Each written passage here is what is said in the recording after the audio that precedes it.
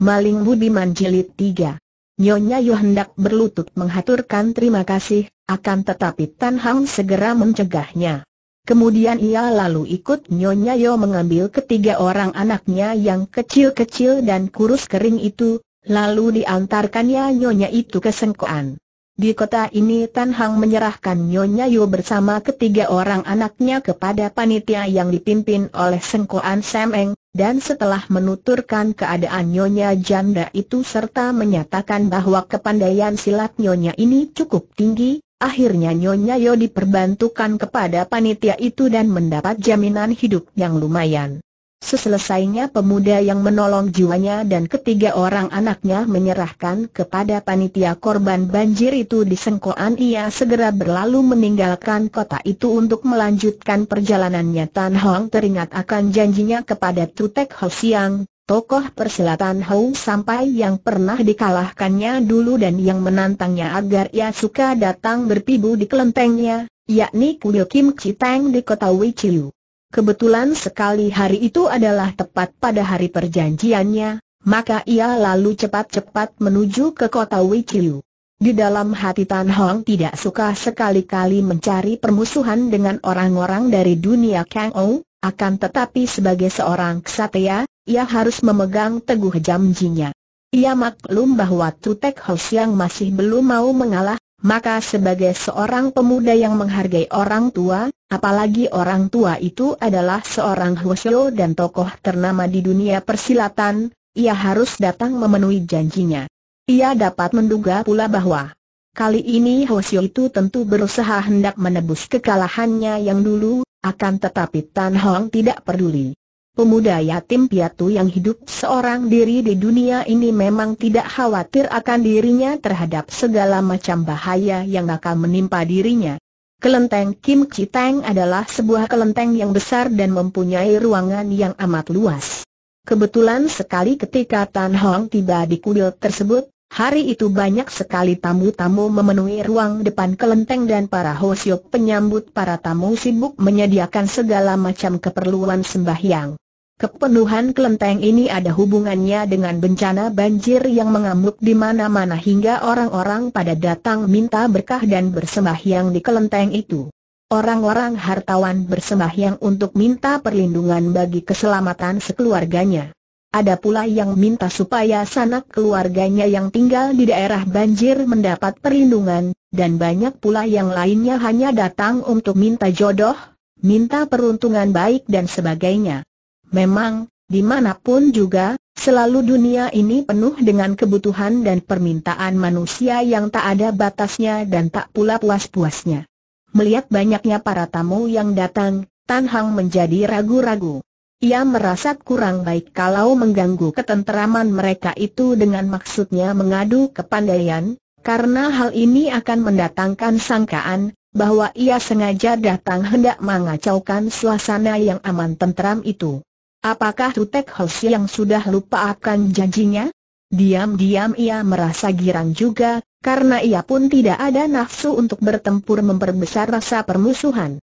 Tan Hang lalu mengikuti orang-orang yang bersembahyang dan agar jangan menimbulkan curiga pada para hosyok penyambut tamu, ia pun membeli hiosoa, dupa, dan bersembahyang pula, Sungguh pun ia menyalakan Hio Soa dan mengangkat-angkatnya itu hanya sekedar memberi hormat belaka.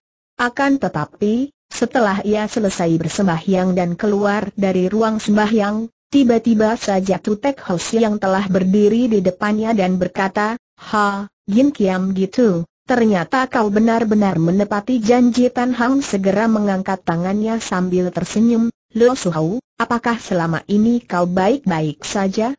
Kukira kau telah lupa akan janji kita, berubah air muka Tutek House yang mendengar hal ini. Tan Si Chu, Chuan Sitan yang gagah, seorang laki-laki, sekali mengeluarkan janji, selamanya takkan lupa. Sayang sekali hari ini tak kusangka-sangka tamu datang begini banyak, maka terpaksa Pinceng tak dapat melayanimu.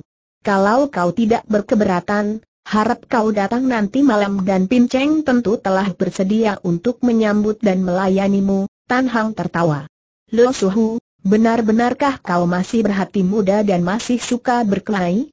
baiklah, aku hanya memenuhi keinginanmu saja, tiba-tiba pemuda ini tak mau berbicara lagi, karena ia melihat bahwa di situ ada beberapa orang yang memandang ke arah mereka dengan tajam. Tutek Hoshi yang lalu menjura memberi hormat kepada Tan Hang dan berkata, sahabatku yang baik. Pinceng menanti kedatanganmu nanti malam, setelah berkata demikian, Tu Tek Hoshi yang lalu mengundurkan diri ke ruang dalam, sedangkan Tan Hang pun lalu menuju keluar. Tiba-tiba pemuda itu menyelinap di antara para pengunjung dan menyembunyikan dirinya di belakang tubuh orang-orang lain, karena pada saat itu ia melihat dua orang pengunjung yang membuat hatinya berdebar-debar. Mereka ini tidak lain ialah Shoklan dan ayahnya. Tan Hang merasa heran kepada dirinya sendiri, Mengapa ketika ia melihat nona itu beserta ayahnya, hatinya secara mendadak menjadi berdebar-debar dan ia menjadi malu, hingga tak berani memperlihatkan mukanya. Ia berbuat begitu, karena ia sadar bahwa pakaiannya sangat buruk dan memalukan, maka secara diam-diam ia mengintai dan memandang ke arah Shoklan dengan mata berseri dari jauh. Alangkah cantiknya gadis itu, hingga ia serasa melihat seorang bidadari yang baru saja turun dari kahyangan. Ketika ia mengetahui betapa banyak mata laki-laki lain, pengunjung kuil itu, juga tertuju kepada Shoklan dengan kagumnya, timbullah rasa kurang senang di hatinya. Haa, apakah aku sudah gila bisiknya dalam hati dan ketika ia melihat Shoklan dan ayahnya masuk ke ruang sembahyang, ia lalu melangkah keluar. Akan tetapi, ketika ia hendak meninggalkan kelenteng itu, kakinya terasa amat berat. Sebetulnya hatinya lah yang terasa berat, berat untuk meninggalkan gadis itu. Kemudian diam-diam Tan Hang lalu bersembunyi di belakang sebatang pohon yang tumbuh di kelenteng itu, pura-pura beristirahat dan duduk menyandar pada sebatang pohon. Tetapi sebenarnya ia memperhatikan pintu kelenteng dengan penuh perhatian, melihat kalau-kalau Shoklan dan ayahnya keluar dari situ. Sejurus lamanya ia menanti dengan sabar, dan akhirnya ia melihat nona itu keluar dari pintu kelenteng sambil berbisik-bisik dengan ayahnya, entah apa yang sedang dibicarakannya. Mereka berdua keluar dari kelenteng dan terus berjalan menuju ke utara, Tan Hang diam-diam mengikuti mereka dari belakang untuk mengetahui ke mana kedua orang itu hendak pergi. Ternyata bahwa Shoklan dan ayahnya tinggal di sebuah rumah penginapan yang tak jauh dari kelenteng itu. Tan Hang benar-benar seperti orang yang tidak waras otaknya. Sehari itu, ia berdiri saja di satu tempat yang tak jauh dari rumah penginapan itu dan memandang ke arah hotel dengan penuh harap melihat gadis itu kalau-kalau keluar. Akan tetapi ia kecewa, karena Shoklan dan ayahnya Lo Chin Ki si Garuda Sakti, Sampai sore tidak muncul-muncul keluar dari hotel itu.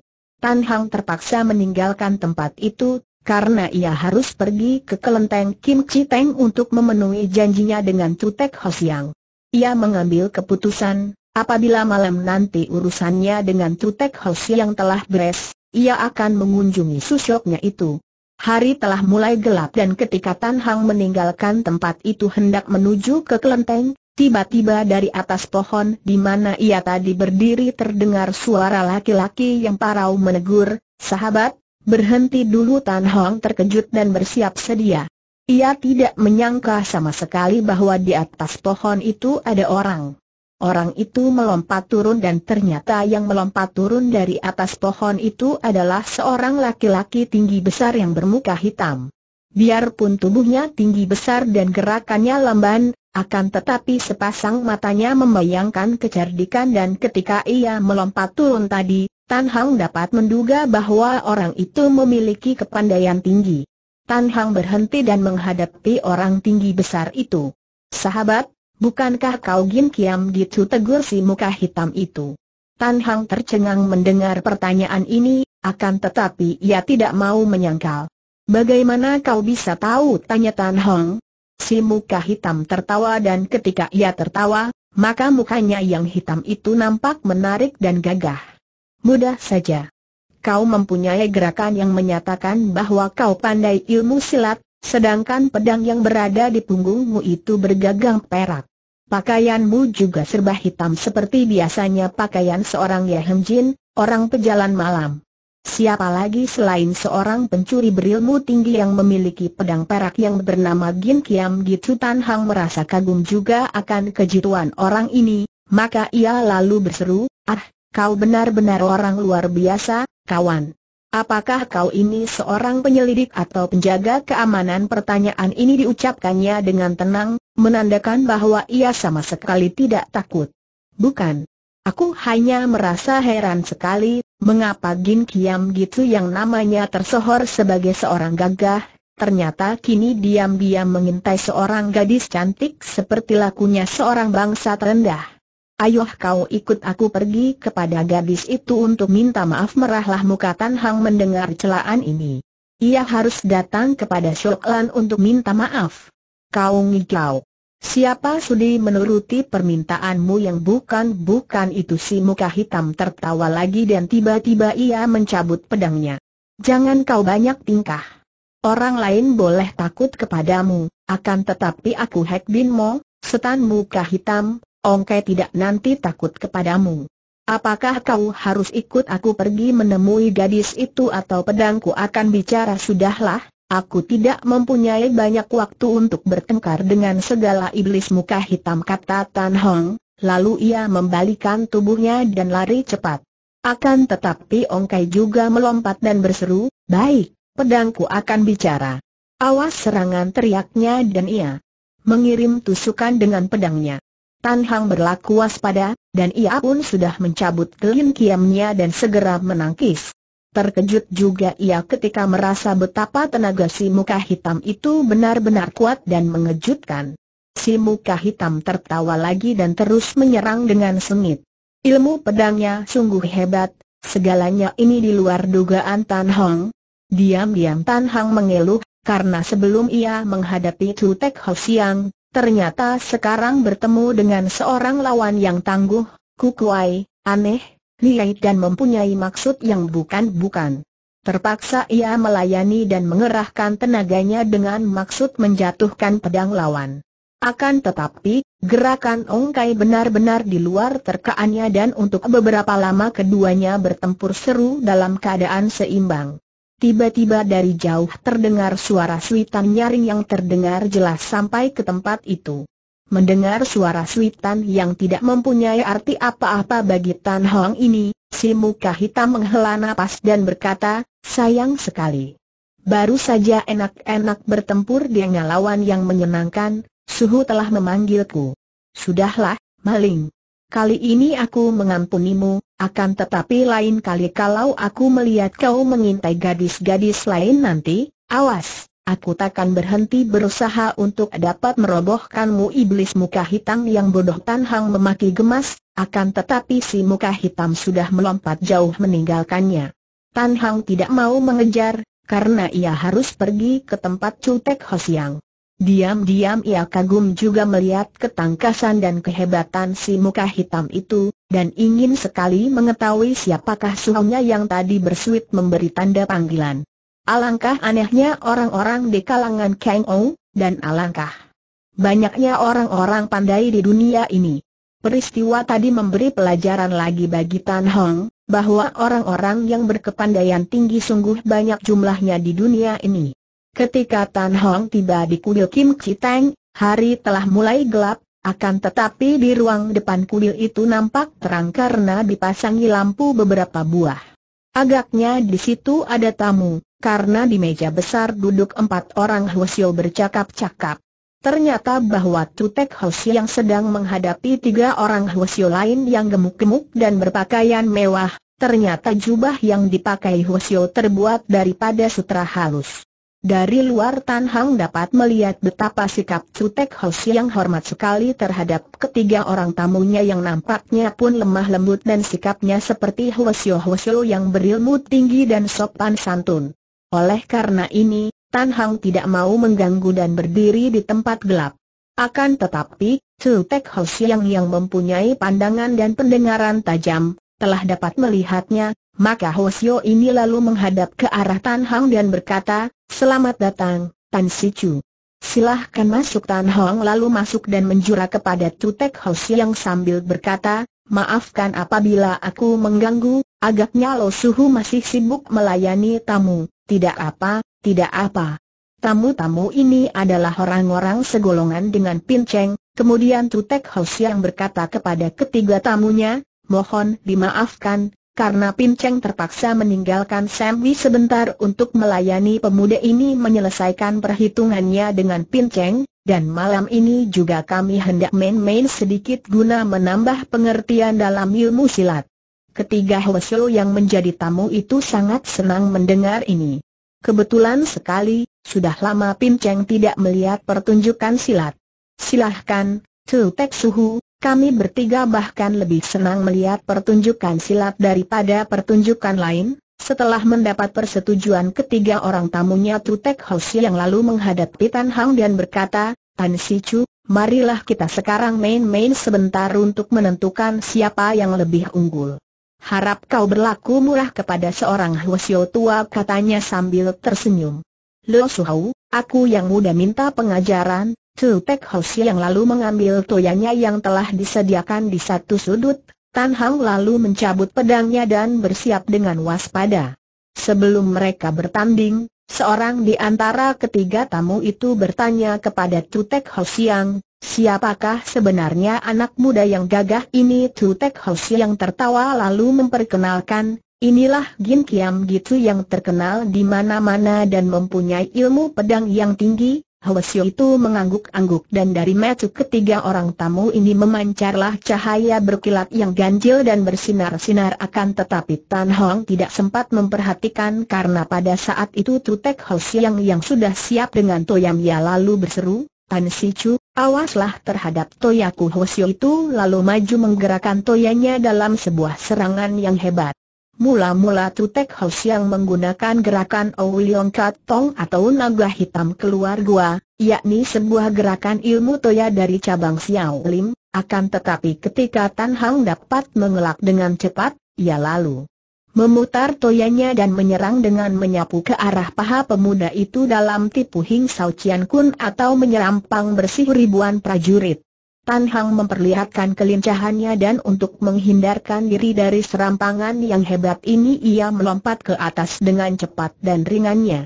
Ketika tubuhnya melayang turun, ia balas menyerang dengan tipu Chong Eng Kim To atau Garuda menyambar kelinci.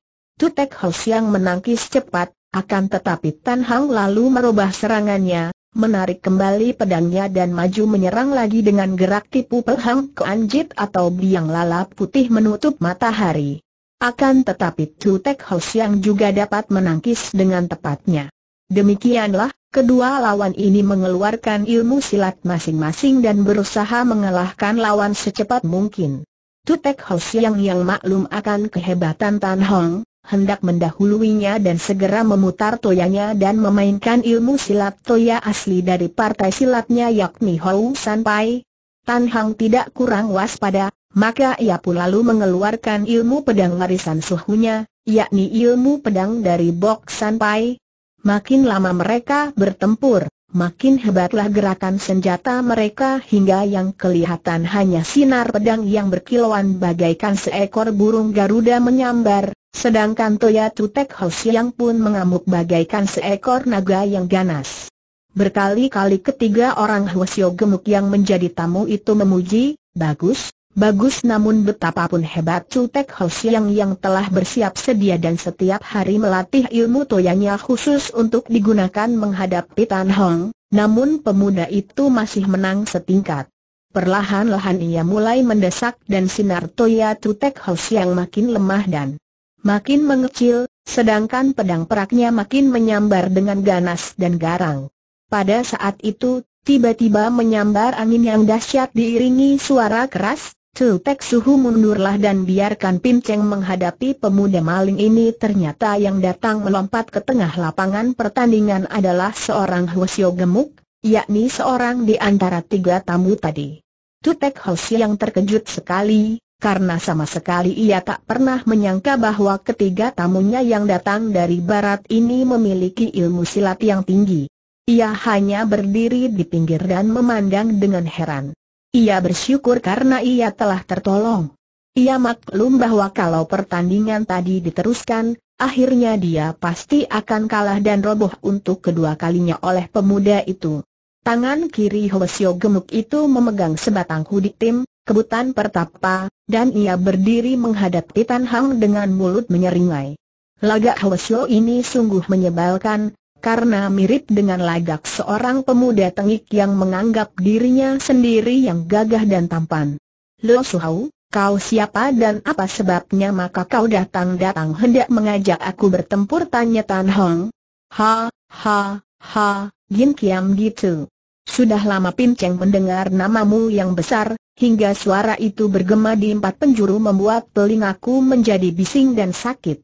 Pinceng adalah Bengkong Hwasyo, dan kedua suhengku yang duduk itu adalah Bokong Hwasyo dan Kim Kong Hwasyo. Barangkali nama ini belum pernah kau dengar, maka akan lebih mudah dikenal kiranya apabila Pinceng sebutkan bahwa kami bertiga disebut orang Peh Koa Sam Sian atau tiga dewa dari Peh Koa San. Kini bukan saja Tan Hang yang terkejut, bahkan Tutek House yang sendiri pun sangat terkejut karena nama tiga dewa dari Pek Hoasan ini amat terkenal sebagai tokoh-tokoh dan pendiri-pendiri cabang persilatan Pek Hoasan Pai yang termasyur itu. Tadi ketika datang, ketiga tamu Tutek House yang itu hanya memperkenalkan nama-nama mereka, sama sekali tidak disangkanya bahwa ia mendapat kehormatan menerima tamu-tamu yang terdiri dari tokoh-tokoh persilatan yang telah masuk golongan tertinggi itu. Biarpun Tan Hang maklum bahwa tokoh-tokoh Pek Asan ini menurut suhunya dulu adalah orang-orang yang berilmu silat tinggi, akan tetapi suhunya pernah menyatakan bahwa mereka bertiga itu bukanlah orang baik-baik, maka pemuda ini sedikit pun tidak memperlihatkan rasa gentar. Ia bahkan tersenyum dan berkata dengan tenang. Ah, kiranya Pek Hoa Sian yang kuhadapi. Lalu apakah kehendakmu kembali Bengkong Hwasyo tertawa gelak-gelak. Sudah Pinceng katakan tadi bahwa telah lama Pinceng mendengar nama maling budiman berpedang perak yang kesohor. Dan kebetulan sekali, kami bertiga paling benci dengan segala macam maling, baik yang besar maupun yang kecil. Maka sekarang, setelah Pinceng berhadapan dengan seorang maling, biarlah Pinceng mewakili Tu Tek yang untuk menangkapnya dan menyerahkannya kepada yang berwajib Hosio Gundul jangankah sombong Tan Hang berseru marah sambil menggerakkan pedangnya. Bagus, bagus.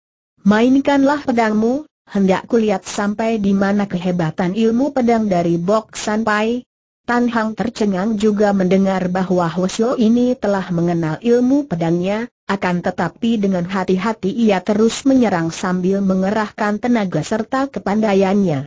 Benar saja, ilmu silat Bengkong Hwasyo benar-benar luar biasa, kebutannya digerakkan dengan cepat dan bulu-bulu yang halus dari kebutan itu menyambar-nyambar dan tak boleh dipandang ringan karena bulu-bulu yang halus ini berkat tenaga lekangnya yang tinggi, merupakan senjata yang sangat berbahaya.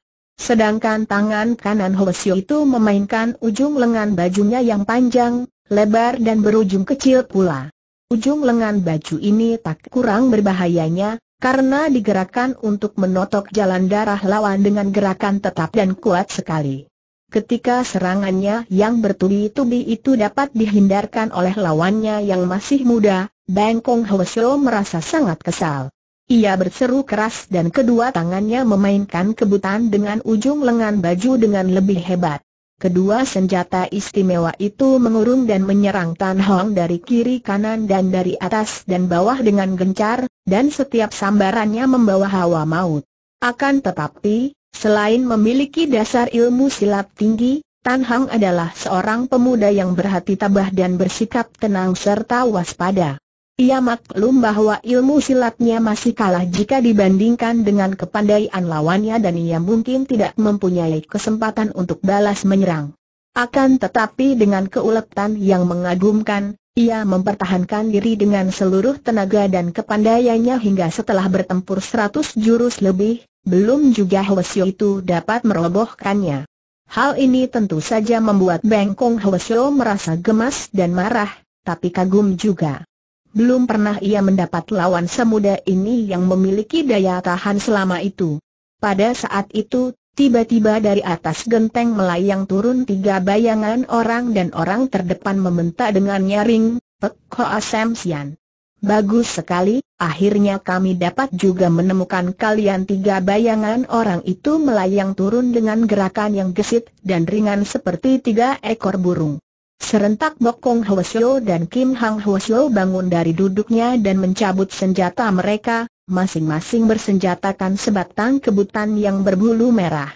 Biarpun sedang bertanding dan didesak oleh lawannya, akan tetapi Bengkong Hwasyo dapat memperhatikan ketiga orang yang datang itu, Tan Hang dapat juga melirik sekejap dan alangkah terkejutnya ketika ia melihat dengan jelas, bahwa yang datang itu tidak lain ialah Lo Chin Ki atau yang dijuluki Jian Jiao Sineng si Garuda Sakti berkuku seribu, yakni susyoknya, paman gurunya, sendiri, Nona Lo Shok Lan, dan si muka hitam Mongkai yang sore tadi pernah bertempur dengannya. Melihat bahwa yang bertempur melawan seorang di antara Pek Hoa Sam Sian adalah pemuda yang sore tadi bertempur dengannya, Ongke lalu maju menerjang dengan pedang di tangan dan berkata, Eh, maling budiman, kau juga bertempur melawan mereka?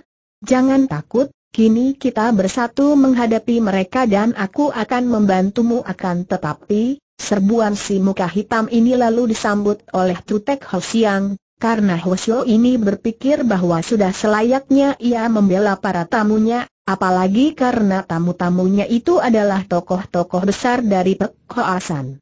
Ia berpikir bahwa orang-orang yang datang membantu maling budiman ini tentulah golongan maling atau perampok juga. Apalagi melihat tongkai yang tinggi besar, kasar dan bermuka hitam, tak salah lagi, orang ini tentulah kepala perampok yang buas dan ganas. Ia lalu memutar toyanya dan membentak, bangsat pemaling dan perampok Hinagina. Jangan kau kotorkan kelentengku yang suci ini Ongkai tercengang dan mengurungkan niatnya membantu Tan Hong. Ia pandang Tutek Hosiang dengan sepasang matanya yang bundar lebar, lalu bertanya, eh, eh, ini ada lagi kepala gundul yang berkedok agama. Baik, baik kau mampuslah di tanganku agar segera masuk ke neraka maka ia lalu menyerang Tutek Hosiang kembali dengan sengit dan keduanya lalu bertempur seru. Sementara itu, Lo Chin Kim lompat maju dan berhadapan dengan Bok Kong Hwasyo dan Kim Kong Hwasyo, lalu menuding dengan pedangnya, Hwasyo gadungan. Serahkan nyawa kalian untuk menebus dosa yang telah kau lakukan terhadap keponakan Li Xio Chia ha, ha, ha. Jadi inikah si Garuda Sakti berkuku seribu? Kau mengantarkan jiwa tuamu. Apakah kau sudah bosan hidup sambil berkata demikian, Kim Hang Hwasyo lalu maju menyerbu, disambut dengan sengit oleh Lo Chin Ki. Lo Chin Ki adalah seorang tokoh Bok San Pai yang memiliki ilmu silat yang tinggi sekali serta bertenaga besar, maka begitu kebutan Kim Kong Hwasyo bertemu dengan pedang si Garuda Sakti, Hwasyo itu terhuyung ke belakang. Bukan kepalang kagetnya, karena tak pernah diruganya bahwa tenaga orang tua itu melebihi tenaganya sendiri. Sementara itu, Ketika Bokong Hwasyo melihat betapa suhengnya tak dapat merobohkan Lo Chin Ki, malah jelas sekali nampak olehnya bahwa suhengnya kalah tenaga. Ia lalu ikut maju menyerbu dan mengeroyok jago tua dari Boksan itu. Sebetulnya, kalau saja Boksan Pai tidak lebih mengutamakan ilmu pengobatan dan khusus memajukan ilmu silatnya, cabang persilatan ini akan memperoleh kemajuan besar, karena memang dasar-dasar persilatan Bok Pai kuat dan sempurna sekali. Akan tetapi Lo Chin Ki lebih suka mempelajari secara mendalam ilmu pengobatan, maka dalam hal silat, boleh dibilang ia hanya mencapai tingkat delapan bagian saja. Namun kepandaian ini agaknya cukup untuk mengimbangi kedua pengeroyoknya itu. Ketika Lo Shok melihat betapa ayahnya dikeroyok, Walaupun ia maklum bahwa kepandaian kedua Hwasyo gemuk itu jauh lebih tinggi daripada kepandaiannya sendiri, ia lalu membentak, bangsat gundul curang. Jangan maju mengeroyok ayahku gadis yang tabah ini pun lalu menggerakkan pedangnya hendak membantu ayahnya, akan tetapi si Garuda Sakti berseru, jangan lanji. Kau bantu saja Suheng Mutan Hong yang terdesak oleh iblis gundul itu ternyata, biarpun ia sendiri terdesak, jago tua ini masih ingat kepada orang lain dan minta puterinya membantu Tan Hong. Biarpun dengan hati ragu-ragu, namun gadis itu tidak berani membantah perintah ayahnya. Ketika ia memandang, benar saja bahwa keadaan Tan Hang amat terdesak, Sungguh pun pemuda itu telah memainkan pedangnya sedemikian rupa merupakan sebuah benteng baja yang kuat sekali, hingga andai kata disiram air pun takkan membasahi tubuhnya yang terlindung sedemikian rapatnya oleh gerakan pedang. Tanpa mengeluarkan suara apa-apa. Siolan lalu memutar pedangnya menyerbu dan menahan serangan Bengkong Hwasyo.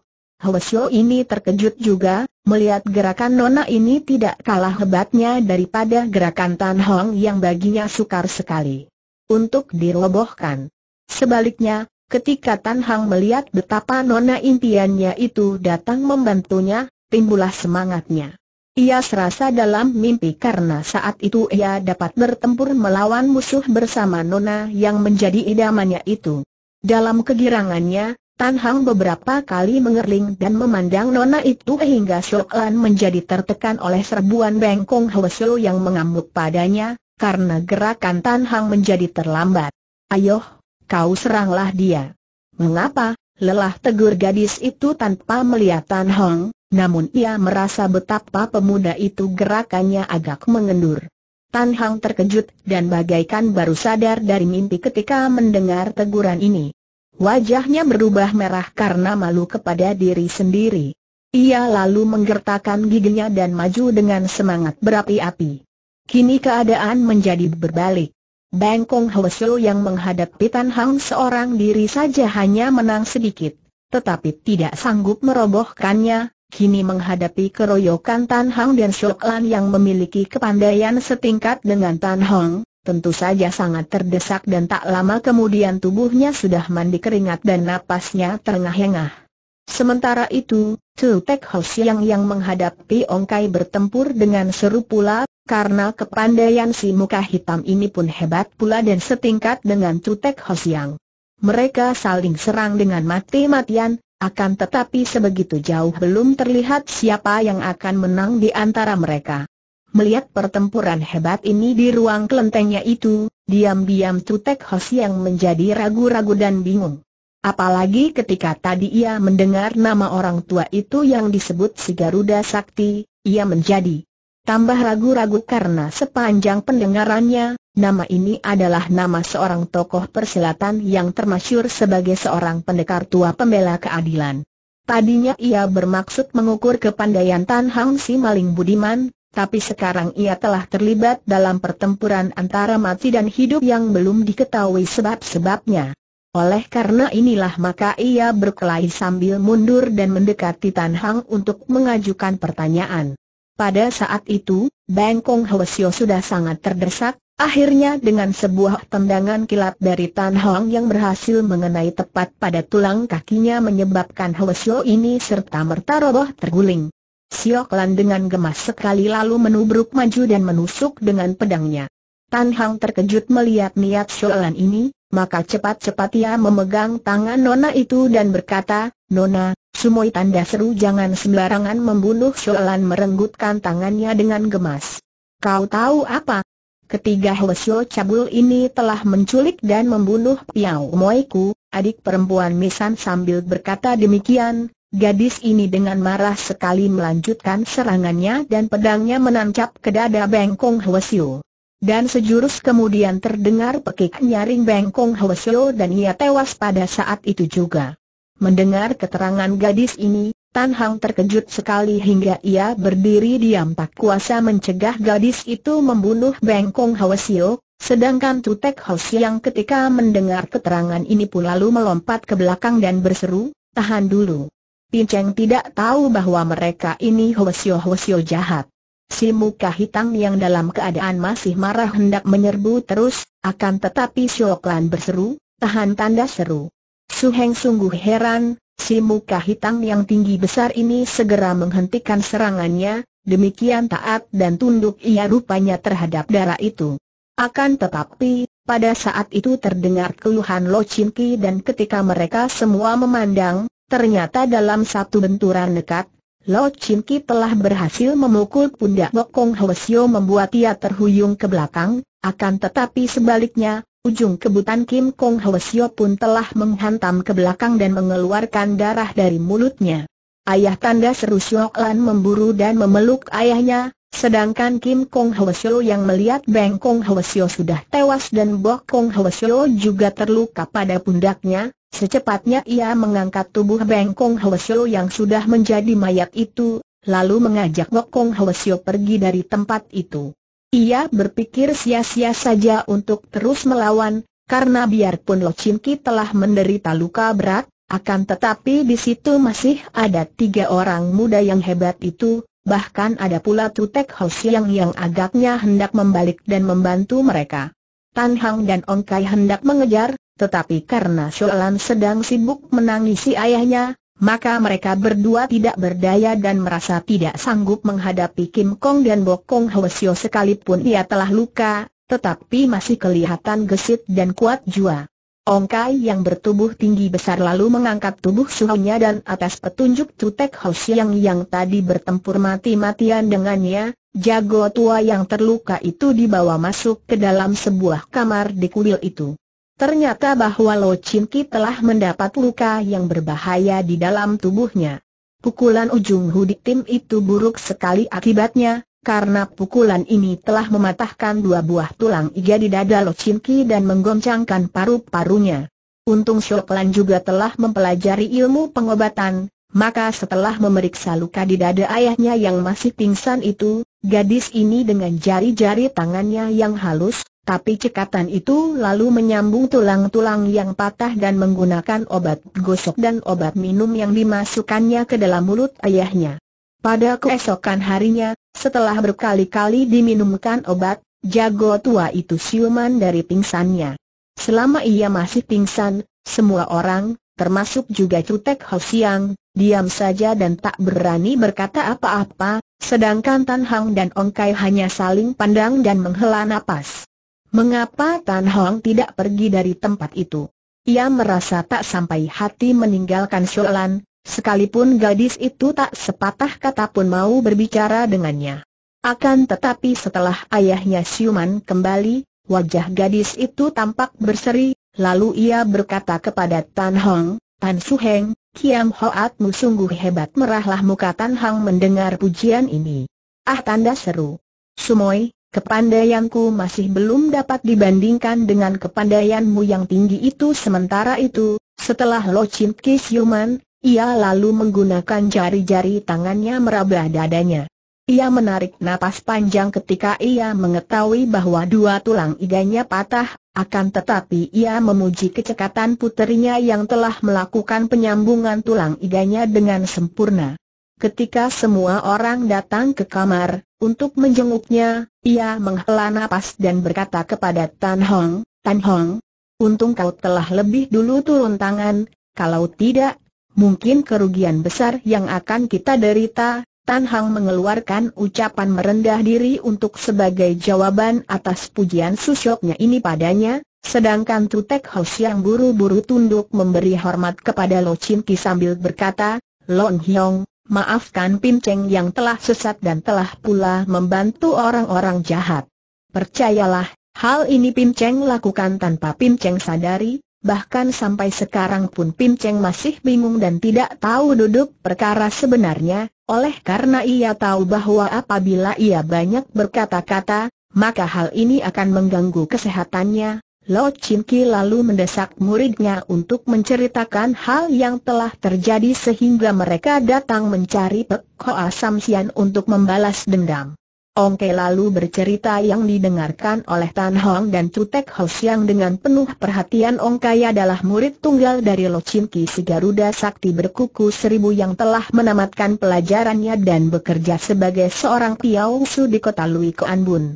Ia adalah seorang pemuda yang biarpun beradat kasar, akan tetapi ia mempunyai kecerdikan luar biasa.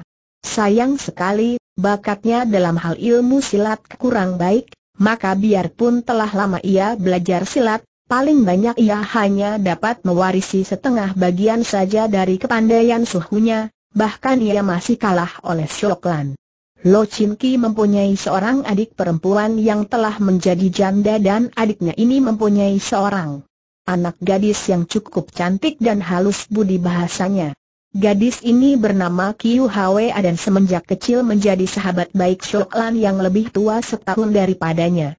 Siok Lan berbakat baik dalam ilmu silat, sebaliknya Kiu Hwa tidak suka belajar silat, ia lebih suka menjadi seorang gadis yang lemah lembut. Dan dalam hal kepandaian tangan, ia jauh lebih pandai daripada Shoklan. Lo Chin Ki tahu, sekalipun mukanya hitam, akan tetapi hatinya tetap suci bersih. Ia mengusulkan kepada adiknya untuk mengambil longkai si muka hitam itu jadi iparnya. Demikianlah, tak lama kemudian pemuda ini dipertunangkan dengan Kui Hwa. Beberapa hari yang lalu datanglah malapetaka menimpa diri Kiu Hwa. Pada suatu malam, kota Lui Kuan Bun didatangi oleh tiga orang penjahat besar, yang tidak lain ialah Peh Koa Sam Sian, tiga Hwasyo gemuk berbatin kotor itu. Di sepanjang jalan mereka ini melakukan perbuatan-perbuatan yang keji yaitu, mengganggu anak bini orang. Walaupun Kiu Hwa adalah seorang gadis lemah lembut, akan tetapi memiliki kenekatan besar. Melihat ketiga orang Hwasyo biadab itu berniat jahat terhadap dirinya, ketika ia diculik dan dibawa ke sebuah kelenteng rusak di luar kota. Gadis ini mendapat kesempatan untuk mencabut tusuk kondenya yang terbuat daripada perak yang tajam seperti pisau belati itu dari rambutnya. Dengan dekat Kiu Hwa lalu memasukkan benda tajam itu ke tenggorokannya hingga ia tewas pada saat itu juga. Saat itu Ong Kai sedang berada di luar kota karena sedang menjalankan tugasnya mengawal barang-barang. Ketika pada keesokan harinya ia kembali ke rumah dan mendengar tunangannya diculik orang, bukan main marah dan geramnya. Pemuda ini lalu melakukan penyelidikan di rumah tunangannya di mana calon ibu mertuanya didapati. Sedang menangis sedih dan berkali-kali ia jatuh pingsan memikirkan nasib gadisnya. Oleh karena tidak melihat tanda-tanda yang mendatangkan curiga dalam kamar tunangannya itu, Ong Kai dapat menduga bahwa yang melakukan penculikan tentu seorang penjahat berilmu tinggi, maka ia terus melakukan penyelidikan. Kebetulan sekali ketika tiga orang Hwasyo biadab itu sedang membawa lari Kiu Hwa yang dalam keadaan meronta-ronta, terlihat oleh seorang petani di luar kota, akan tetapi karena takutnya, petani itu menyembunyikan diri di balik pohon. Dari petani inilah Ong Kai tahu bahwa orang yang melarikan tunangannya itu adalah tiga orang Hwasyo gemuk. Ia segera melakukan pengejaran sampai ke kuil tua itu. Dan alangkah hancur rasa hatinya ketika mendapatkan tunangannya rebah di lantai kuil dalam keadaan telah tak bernyawa lagi. Sebaliknya, di dalam kesedihannya, Ong Kai merasa bangga dan lega juga melihat kematian tunangan yang dicintainya itu adalah karena membunuh diri dengan tusuk konde. Dalam menangisi jenazah Kiu Hwa, dalam hatinya Ong Kai memuji kesucian gadis ini dan bersumpah hendak membalas dendam dan mencari ketiga orang Hwasyo gemuk itu. Ong Kai yang cerdik itu lalu melakukan pengejaran dan penyelidikan. Untung baginya bahwa Pek Hoa Sian adalah tokoh-tokoh persilatan yang mempunyai adat sombong dan menganggap bahwa di dunia ini tidak ada orang yang berani melawan mereka. Karena kesombongannya inilah, ketiga orang Hwasyo gemuk ini sama sekali tidak ada niat untuk menyembunyikan diri atau berusaha agar jejak mereka nanti tidak diikuti dan dicari orang. Secara terang-terangan mereka berjalan di jalan umum melanjutkan perjalanan mereka hingga akhirnya mereka sampai di Wichiu.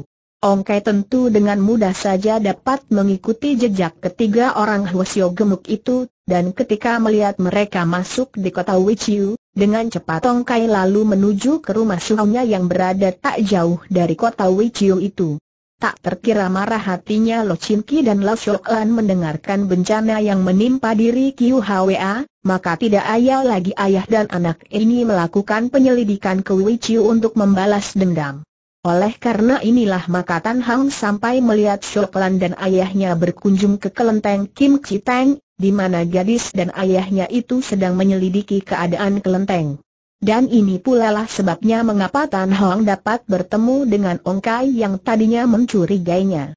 Setelah mendengar penuturan Ong Kai sambil mengalirkan air mata karena teringat akan tunangannya itu, Tan Hang menjadi terharu sekali. Saudara Ong Kai, jangan kau khawatir.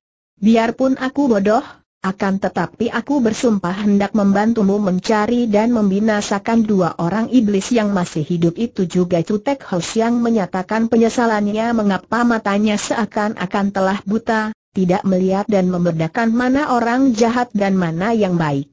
Berkali-kali Hwasyo ini menyebut nama Dewata, karena heran dan terkejut mendengarkan kejahatan dan kekejian yang dilakukan oleh tiga orang Hwasyo yang berkepandaian tinggi dan yang terkenal sebagai tokoh-tokoh dunia persilatan itu.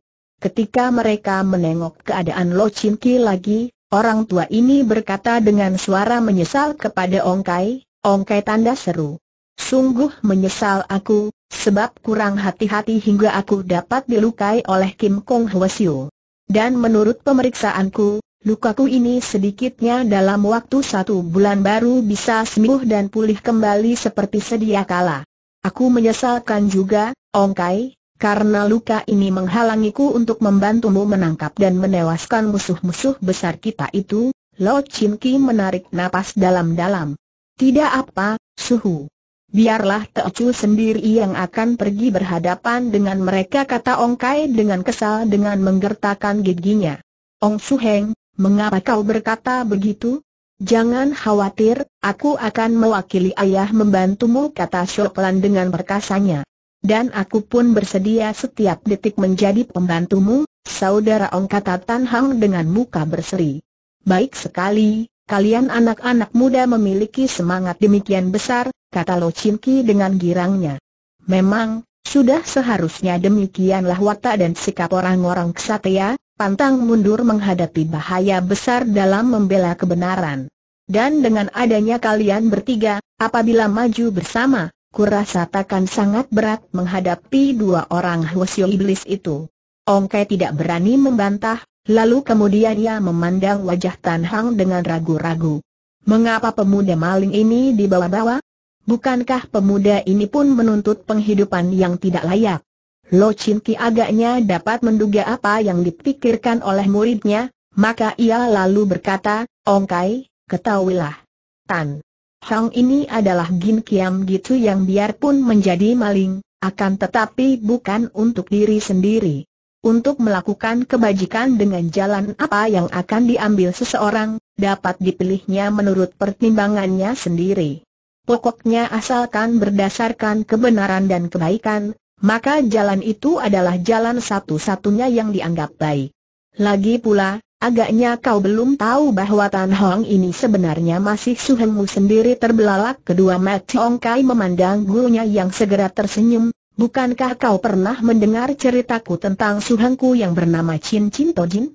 Nah, Pemuda ini adalah murid tunggal Chin Chin Tojin Ong Kai yang berwatak jujur itu menjadi bertambah girang mendengar hal ini. Ah, pantas saja ilmu kepandaianmu lebih tinggi dari kepandaianku. Rupanya kau murid Chin Chin Supek. Pantas, pantas. Tan Suheng, kalau demikian, kita adalah masih sekeluarga dan tentu saja kau harus ikut membantuku Tan Hong tersenyum dan merasa girang melihat kejujuran pemuda muka hitam yang mengalami kesedihan ditinggalkan mati oleh tunangannya dalam keadaan menyedihkan itu.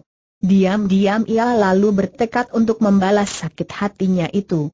Demikianlah setelah mendapat doa restu dari Lo Chin Ki, ketiga anak muda itu, Ong Kai, Tan Hang dan Xiao Lan berangkat untuk mengejar Bok Kong Hwasyo dan Kim Kong Hwasyo ke mana saja kali ini, karena maklum bahwa musuh-musuh mereka yang hebat itu tentu takkan membiarkan mereka melarikan diri begitu saja.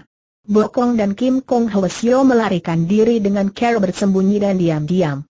Mereka berdua juga merasa sakit hati sekali. Setelah mengubur jenazah Bengkong Hwasyo di sebuah hutan mereka berjanji dalam hati akan membalaskan sakit hati sute mereka ini. Akan tetapi, kedua Hwasyo ini maklum bahwa mereka takkan dapat melawan Lo Chin Ki dan pembantu-pembantunya yang gesit dan cekatan itu. Maka keduanya lalu mengambil keputusan untuk kembali ke pengkoasan dan mencari daya upaya untuk menjaga kedatangan musuh dan sekalian membasmi mereka.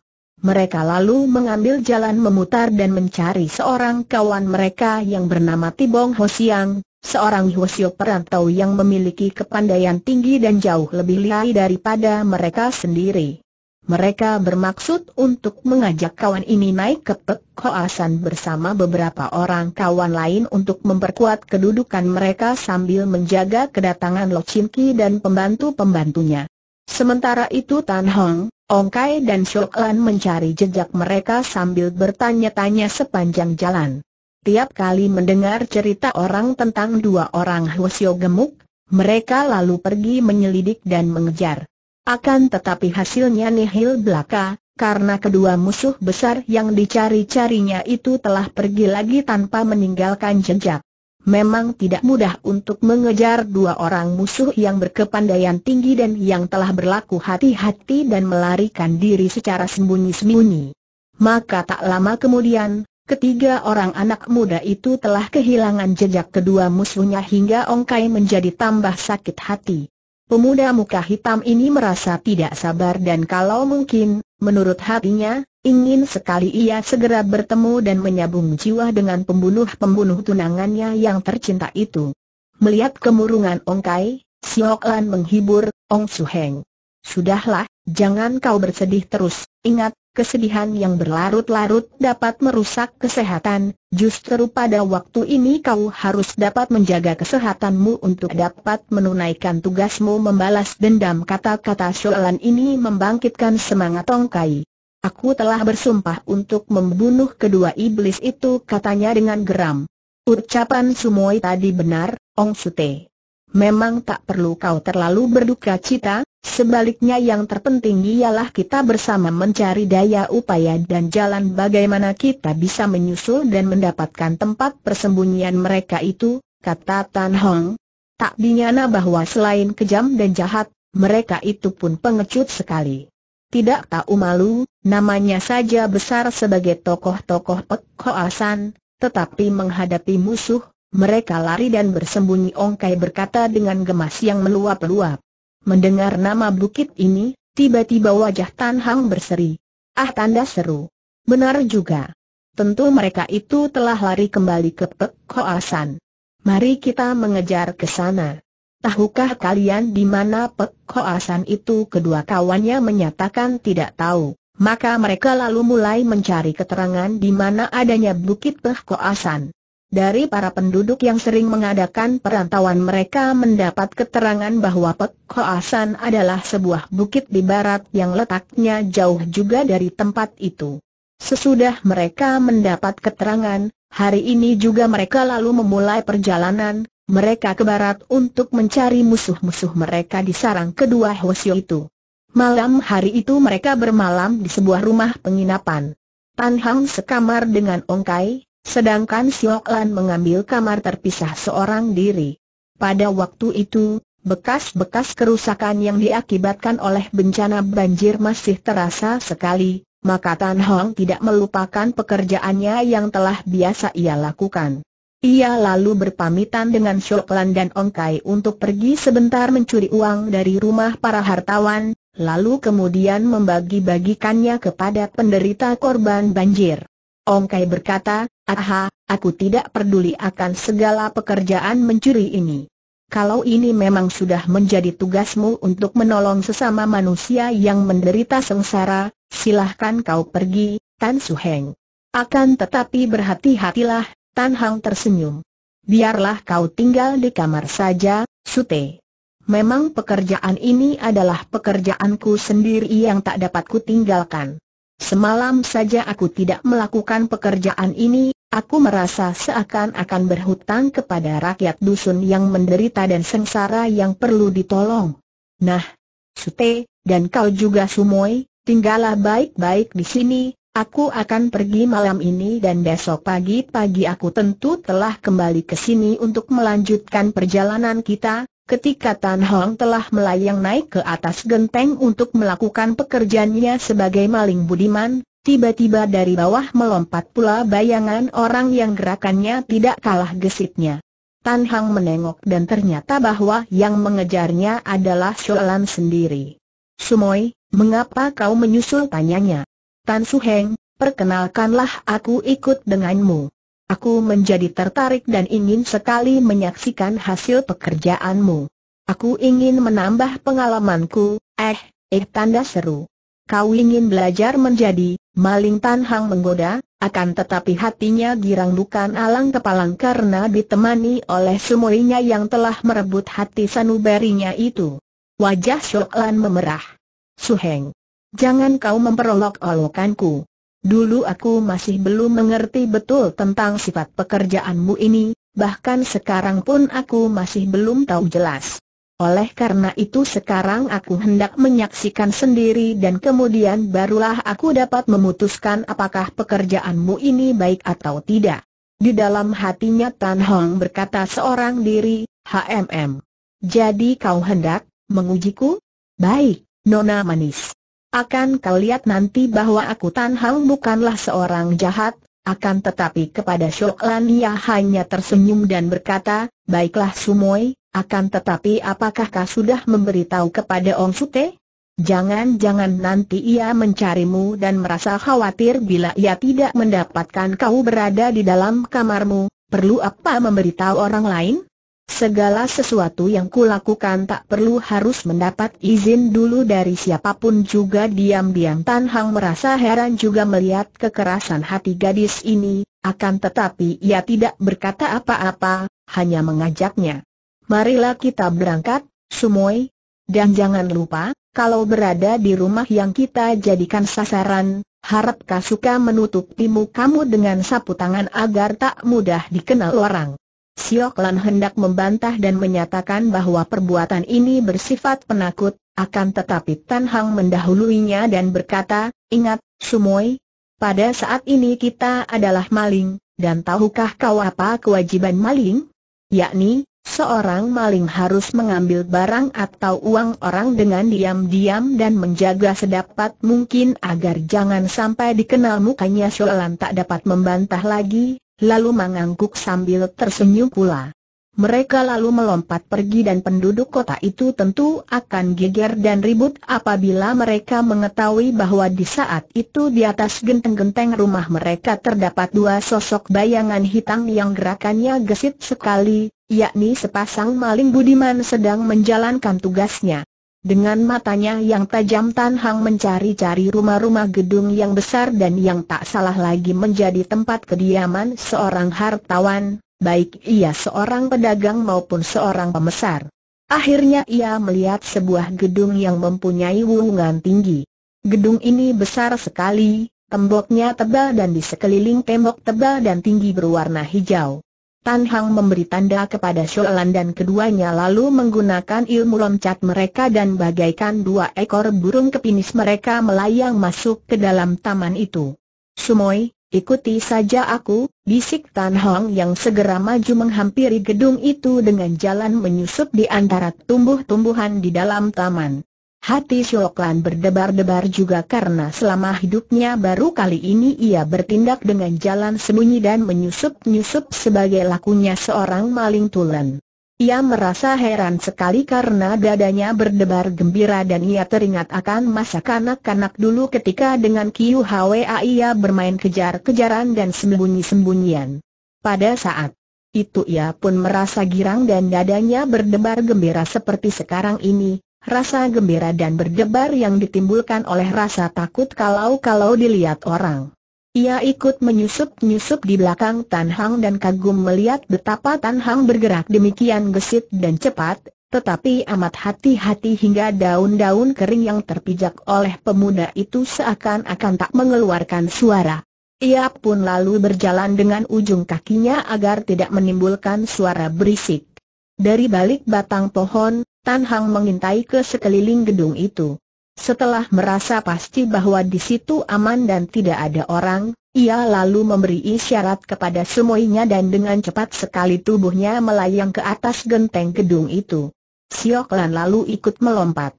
Kembali ia mendapatkan Tan Hang mendekam di atas wuwungan bagaikan seorang sedang bersembunyi.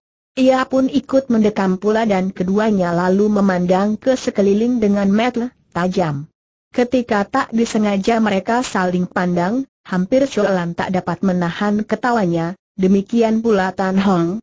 Entah mengapa, mereka merasa gembira dan geli, merasa bahwa mereka kembali ke masa kanak-kanak dan sedang bermain-main sembunyi untuk dicari oleh kawan lain. Setelah mencari letak kamar besar di dalam gedung itu, Tan Hang lalu membuka genteng dengan cepat kemudian mereka lalu mengintai ke dalam. Dengan hati ingin tahu sekali, Solan pun mengincar ke dalam kamar. Tan Hang dan Solan yang mengintai di atas genteng melihat sebuah kamar besar yang mewah dan indah. Di dalam kamar itu duduk seorang setengah tua bersama istrinya. Mereka ini adalah pemilik rumah dan mereka sedang sibuk bekerja. Yang kali laki menulis dalam sebuah buku, mencatat-catat dan yang perempuan sedang menghitung uang emas yang bertumpuk-tumpuk di atas meja. Melihat betapa Tan Hong diam saja tak bergerak, gadis itu menjadi heran dan memberi isyarat dengan tangannya sambil menuding ke bawah. Akan tetapi Tan Hang menggelengkan kepala, bahkan lalu berdiri menjauhi tempat itu sambil memberi tanda kepada Sholan supaya ikut. Setelah mereka berada agak jauh dari kamar itu, Tan Hang berkata, kita tak dapat bertindak sekarang, mereka masih sibuk dan belum pergi tidur, katanya perlahan. Siok Lan merasa heran sekali. Mengapa kau takuti mereka Suheng? Bukankah mereka itu orang-orang lemah yang mudah saja disingkirkan sekali lagi Tan Hang menggeleng-gelengkan kepalanya. Kau masih belum memahami sifat pekerjaanku ini, Sumoy. Ingatlah bahwa aku adalah seorang maling, bukan seorang perampok yang mengambil barang orang dengan kekerasan dan menggunakan senjata. Aku hanya mengambil uang orang tanpa diketahui oleh pemiliknya, Soalan tidak puas mendengar keterangan ini. Kalau kau tidak mau terlihat oleh mereka, bukankah ada jalan lain yang lebih mudah? Mengapa harus menanti sampai mereka tidur bagaimana kalau mereka semalam ini tidak tidur kita harus menanti di atas genteng, apa tanda tanya? Menanti di sini sampai mereka tidur dan membiarkan diri kedinginan di atas genteng menjadi korban tiupan angin malam yang dingin ini? Alangkah bodohnya Tan Hong tersenyum. Memang pekerjaan ini memerlukan kesabaran besar, Sumoy? Atau, barangkali kau mempunyai cara lain yang lebih sempurna? Siok Lan merasa bahwa sekarang ia pun telah menjadi kawanan maling yang merundingkan cara bagaimana untuk mencuri barang orang lain. Ia merasa mendapat kegembiraan luar biasa dalam pekerjaan baru yang tadinya dianggap hina ini. Mengapa kita tidak membuat mereka tidak berdaya tanpa terlihat? Dengan menggunakan tiam huat, ilmu menotok urat, yang dilakukan dengan sambitan benda keras, kita mudah saja membuat mereka tak berdaya Tan Hang mengangguk-angguk dan menganggap bahwa usul ini baik juga. Memang kalau ia mau, mudah saja ia membuat kedua orang di dalam kamar itu tidak berdaya tanpa mereka sempat melihat dirinya.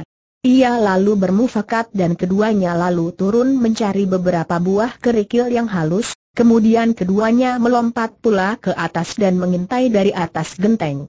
Kedua suami istri hartawan yang tidak mendengar sesuatu dan tak pernah menyangka akan datangnya bahaya itu masih sibuk bekerja, yang perempuan menghitung-hitung uang, yang laki-laki mencatatkan besarnya hasil yang mereka dapat dalam perdagangan mereka.